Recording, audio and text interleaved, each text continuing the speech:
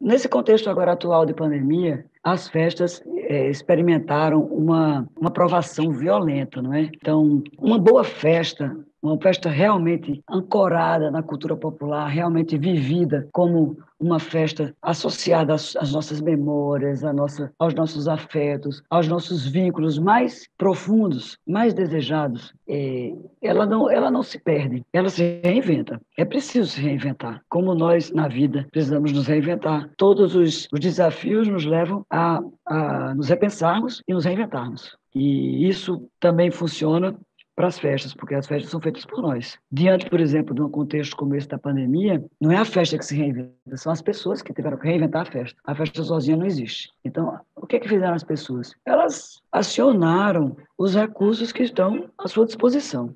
Junto a, uma, um grande sentimento de tristeza e nostalgia que as pessoas estão experimentando de modo muito forte, sobretudo é no Nordeste, onde o São João, no Nordeste do Brasil, onde o São João é a principal festa, a festa mais afetiva que existe, está sendo muito difícil para muita gente, não só do ponto de vista econômico, mas do ponto de vista mesmo existencial. Está sendo muito difícil superar a falta da festa. Então, diante desse desafio, e porque essa festa é uma festa de congraçamento, é uma festa de celebração coletiva, ninguém é, celebra sozinho, esses, essas, esses encontros foram muito prejudicados com a pandemia da Covid-19. Nós não podemos, não devemos e não faremos ajuntamentos, grandes reuniões. Não devemos fazer e não faremos. Mas é, é possível encontrar ainda as pessoas através dos recursos disponíveis. Então, é, o acesso às tecnologias que já estavam se aproximando do cotidiano e aí essas essas tecnologias de reunião à distância ganharam muita força. Grupos, do mesmo modo que, por exemplo, as igrejas passaram a celebrar as suas missas, né? Ou as, os evangélicos também, muitos, suas, seus cultos, suas celebrações de modo virtual, de modo remoto, né? À distância. Também os grupos que celebram o São João começaram a celebrar à distância. Então foi muito interessante, porque essa pesquisa que nós estamos desenvolvendo sobre o São João na pandemia, ela, é, inclusive estou fazendo em, co em colaboração com o professor Hugo Menezes, da Federal de Pernambuco, e que também é um estudioso das quadrilhas juninas, quando começamos a pesquisar sobre o,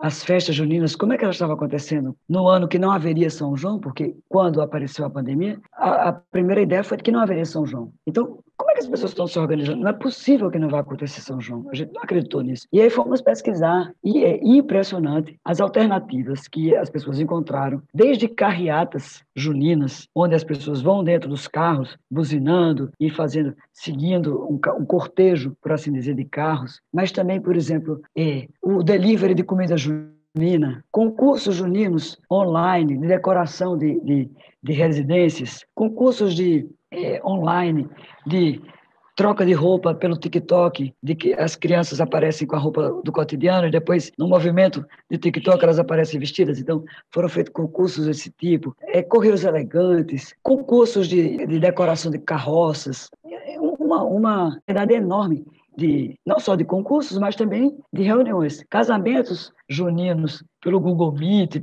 pelo Jitsi, pelas plataformas de reunião. Então, assim, nós ficamos impressionados com isso. Além disso, houve também é, concursos celebrados à distância. Então, por exemplo, é, nas quadrilhas juninas, elas são objeto de, muita, de muito investimento e de muita participação nas comunidades do Brasil inteiro. Aqui não falo mais do Nordeste. Então, existe concurso da Federação Brasileira de Quadrilha Junina que envolve as quadrilhas desde o Amazonas até São Paulo, Minas, e essas quadrilhas se reúnem em concursos nacionais, né? Primeiro disputas locais e depois disputas nacionais. Essas quadrilhas juninas, elas têm disputas é, locais, mas como eu dizia, não só disputa do de uma apresentação completa, mas também disputas de noivos, de noivas, porque as quadrilhas, como se sabe, as quadrilhas juninas, elas têm vários personagens na sua composição. Noivos, noivas, dependendo, é, rainha, reis e rainhas de quadrilha, dependendo da, do tipo de quadrilha você tem Lampião, Maria Bonita, aparece às vezes um Luiz Gonzaga, às vezes aparece um casal de ciganos, padre, uma beata. É, dependendo da imaginação, aparecem vários tipos de personagens bem diferenciados,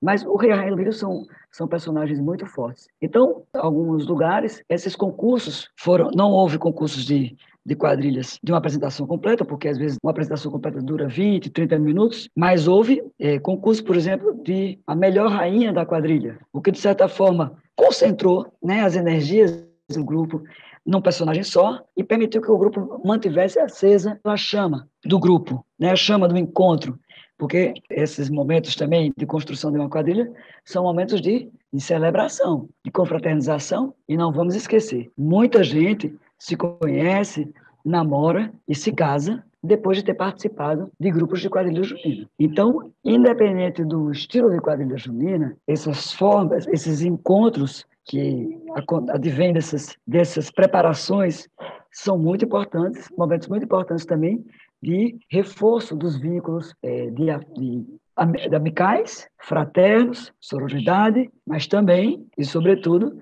vínculos de namoro, paqueras, noivados, né? seja no tipo de quadrilha é, conhecida no Brasil como quadrilhas da roça ou quadrilhas roceiras, dependendo do lugar do Brasil, elas têm vários nomes. Matutas, roceiras, quadrilhas de roça, quadrilhas caipiras. São os vários nomes que essas, quadrilhas é, dançadas de uma maneira mais tradicional ganham pelo Brasil. Tanto nessas quadrilhas mais tradicionais, mais roceiras, caipiras, matutas, quanto nas quadrilhas mais, é, digamos assim, estilizadas, né? Quadrilhas que sofreram mais influências dos estilos, de outros estilos, como, por exemplo, é, das escolas de samba, né? do boi de Parintins, que são quadrilhas, as quadrilhas é, estilizadas, elas ganham, entra muito brilho, entra muito entra muitos vitrilhos, pedras preciosas, às vezes até pedras semi-preciosas, né? muitas plumas, paetês, é, assim, uma super valorização do aspecto visual. Né? E são quadrilhas também que acontecem, e aí isso é interessante falar sobre essas quadrilhas, porque elas, de certa forma, é, esses dois estilos de quadrilha representam muito a transformação que as, que as festas juninas é, receberam ao longo dos anos. É muito difícil falar da festa junina sem falar das mudanças que ela sofreu, né? E das mudanças que ela sofre, mas também, sobretudo, das mudanças que ela ganha, que ela recebe, né?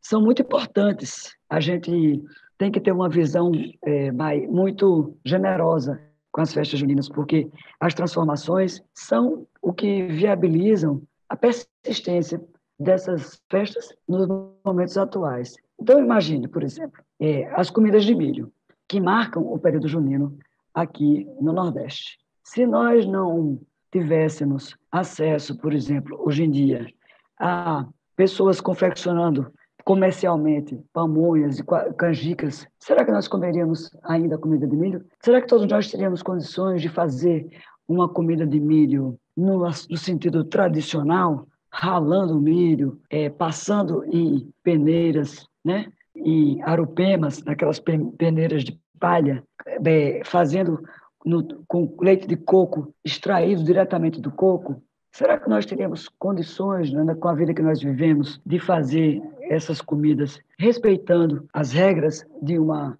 confecção tradicional de comida de milho? Então, o que, é que acontece hoje? Hoje nós temos pessoas que fazem isso e comercializam. E nós não temos controle nenhum sobre esses processos de comercialização, de, de confecção. Essa, outro dia eu assisti uma, uma, na televisão uma reportagem de dezenas de quilos de canjicas que eram confeccionadas por um, um pequeno empresário, comerciante local que faz canjicas para vender no período junino. É tudo feito com, com máquinas é, elétricas, né, com, que misturam o, mas o sabor é delicioso. E o que, o que é importante é ter essa canjica na mesa. Então, será que se nós fôssemos exigir desse comerciante que ele mantivesse o respeito aos cânones da tradição, será que nós poderíamos é, hoje comer nossas canjicas e compartilhar, celebrar o santo como nós celebramos, celebrar o santo, ou às vezes celebrar o momento do ano, provavelmente não poderíamos. Então, é muito importante que nós sejamos é, generosos com as transformações, que nós, o mundo não é o mesmo, né?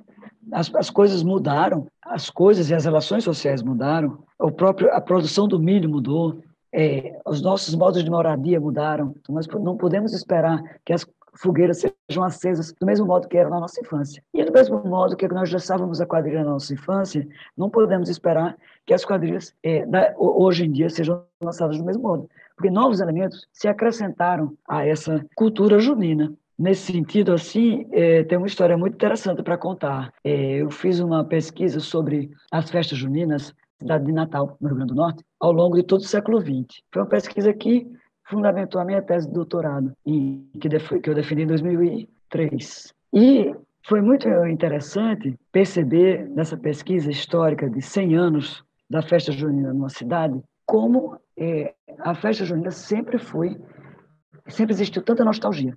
Então, numa matéria de jornal de 1901, é, um daqueles cronistas do jornal A República, que é um jornal que existia em Natal, em 1901, ele já fala da saudade que ele tem do São João da infância dele. E eu achei isso muito interessante, porque nós temos saudade da nossa festa junina da infância e aquele cronista de 1901 também tem a saudade da infância dele e da festa junina dele. Então eu fiquei pensando que a gente tem saudade não porque as coisas antigamente eram melhores, a gente vai dizer sempre isso. Nós temos saudade, de, fato, da nossa juventude, da nossa infância. É o que permite que minha mãe também tenha saudade da festa junina da infância e da juventude dela. E provavelmente, quando eu tiver um pouco mais velha, eu também vou ter saudade da, dessa festa junina de hoje, que hoje em dia tanta gente critica.